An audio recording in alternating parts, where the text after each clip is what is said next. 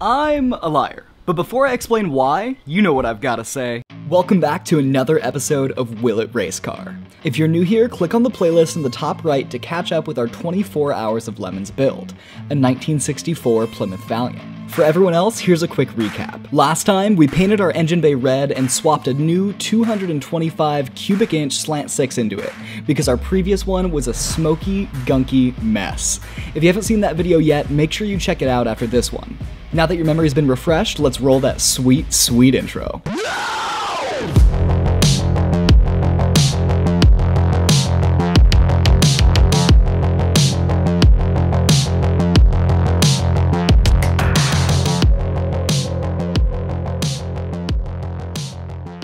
Now you might be wondering, why are you a liar, Taylor? Well, last time I said that we were going to install a roll cage on this episode, but due to extenuating circumstances, that's not what's happening this time.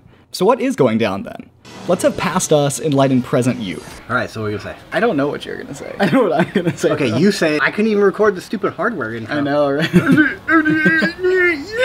so if you've been following our series, you know that this thing is a performance monster, which means that we need to swap out this seven and a quarter itty bitty rear end for an eight and three quarter out of my 1969 Roadrunner pile of crap. We're switching out the rear end with this one because We're suckers for pain, baby. so the reason we're putting the eight and three quarter rear end is not that we think that that rear end is going to break from all 43 horsepower, just that this one has a better gear ratio and is a 323 sure grip rear end, which means that it's a limited slip rear end where the one that's in the car is just an open one. It's like the one wheel peel, only one tire turns.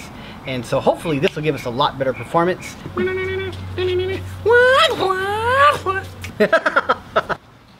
So before we get this thing in the car and make it really, really difficult to do any hard work on it, we're gonna try to get these Drake Brums off. Drake Brums! Drink bro! Give it to me!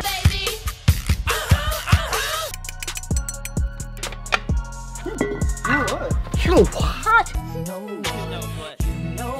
Those aren't that bad actually, huh? Look at the spiders! Those actually look pretty good, huh? I'm amazed. It's a lot of meat on these still, and there's no crazy grooving or anything in them. Wow. Wow. So, we can take the wheel off the other side.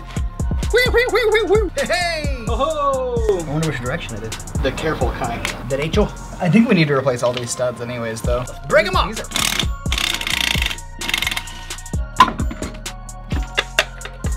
You know what? You know what? I wonder if these wheel cylinders leak. You won't know that until you get it on the car and put pressure. Why would they leak? They're, who knows how old they are, and they have rubber seals in the ends. The seals feel great, though. Push your finger in that. They feel nice and squishy. Squishy! So, would it be foolish to pressure wash the inside? Yes, brake clean. Oh, yeah, it's much smarter. It's in the name. After our brakes were all denastified, I used the Wrist Snapper 2000 to unbolt our clapped out shocks and petrified U-bolts. Oh, look at that. Look at how performance friendly. It's like an industrial cow. Gotta milk them udders. Oh, ah. ah, the amount of rust that came off that.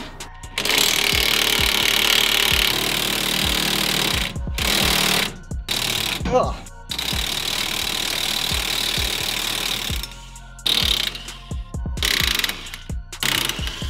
This side's not as rusty. We demonstrated our musical prowess and dropped the car to unload and remove the leaf springs. The rear end was now free, so we rolled it over to the new one Gotta back that thing up. and discovered with much joy that these sure look like the same length. So we rolled the 8 and 3 quarter into its new home with much less trouble than expected. Do you want me to push it off? Yeah, yeah, sure. Oh, you're just gonna go for it? Yeah. Okay. Jesus. Graceful. I was so excited about the new rear end that I forgot to change the camera angle, so you'll just have to enjoy some giant subtitles. Mine's in, baby. Mine's in. It fits! Woohoo! Look at that! Dude! Like it was meant to be? That's insane! Shh. Dude! Dude. Dude! Dude. That's insane! I thought this was gonna be so much work. Look at that. Boom, sucker. Okay, so we have a dilemma, but luckily it's one I know how to fix. Problem solving with Taylor! So this is the old spring plate from the Valiant, and when we swap to the 8 and 3 quarter inch from the Roadrunner, this is no longer compatible. So we had to order these new ones for the 8 and 3 quarter, but the downside is is that they don't come with any shock mounting hardware, because as you can see, this is where the shock mounts on the old spring plate, but this doesn't have that. So luckily, I've had to do this before actually on the 68 Dart that we have, and the solution is to take a bolt and run it through that, and then to take a piece of tubing that you'll cut off and basically make this little sleeve that sits on top of the bolt. So we'll just cut it off right about there and weld it on.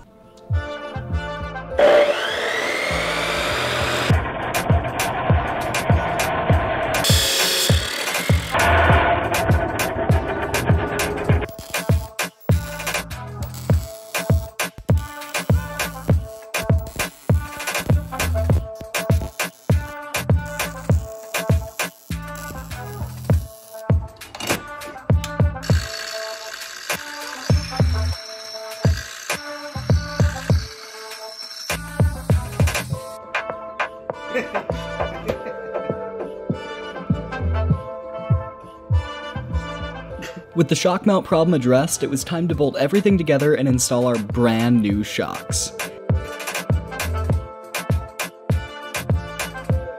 We removed the old ones and used some high temperature red grease on the new ones to reduce wear. Only the best for our little Valiant. While I lubed up the shafts, Wes acted like an absolute savage. He's like, no, I don't know that. I'm, I'm old. I, and I told him, I was like, I don't want to, I'm not trying to sound like a know-it-all. I was like, I have a 23-year-old kid who's, who's a know-it-all. Oh, bitch! But I told him too, I was like, yeah, but he's working on his master's degree, so he actually is smarter than I am.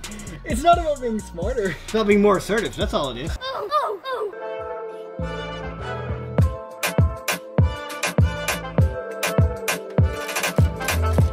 All right, this is where you panic, cut this wire, and miss it. You don't panic, it's not that fast. Hold on, hold on, hold on. No, you're not that fast. Well, that's true. I am not that fast. You're gonna have to edit this. Oh no, hurry, you might miss it. Oh, our grease, bro. With how much grease I'm using, the, the Lemons judges are gonna be like, bro, that's like 15 bucks of grease. You're over. Now that our U-bolts, spring pads, and shocks were installed, the rear end was officially in. But there was still one thing missing. Wheels. And to install those, we needed to replace our wheel studs because the old ones were Very rusted. So we've just taken a hammer and beat them out. And we have these new studs here to go into the, the axle here. And a lot of people just put them in and then they just run the nut down with spacers. But they actually make a tool here that actually saves the actual chamfer on the front of the nut there.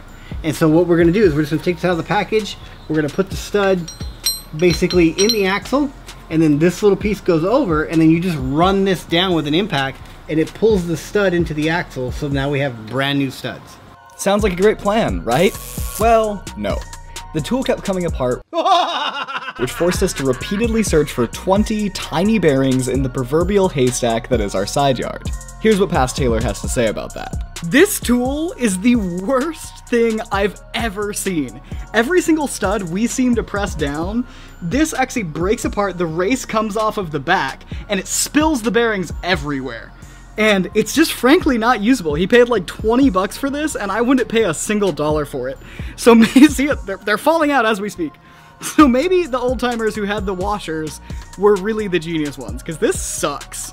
Nevertheless, we continued to use that dung nugget of a tool to install all 10 of our new studs. Here's what we learned in the process. If you're gonna get one of these, you just have to remove like half the bearings, and then the race doesn't pop off. It was like it was just it was too tight. It was too good for us. And it worked all the way up until the end and nothing got wrecked. If you are going to do it with this tool though, you need like 5 extra lug nuts cuz we used every single extra we had. But it works and we have all the lug nuts we need, so we're good. Stud strife over, we tossed some temporary rims and tires on the car and admired its new beefy stance. And with that, we were finished with the rear end swap. Thank you so much for coming on this journey with us. Next episode, we'll be making some custom seat mounts for our Lemons approved one piece aluminum race seats. If you laughed while watching this video, do me a favor and click that like button. It costs you nothing, but it means the world to us. See you next time, and as always, you are awesome.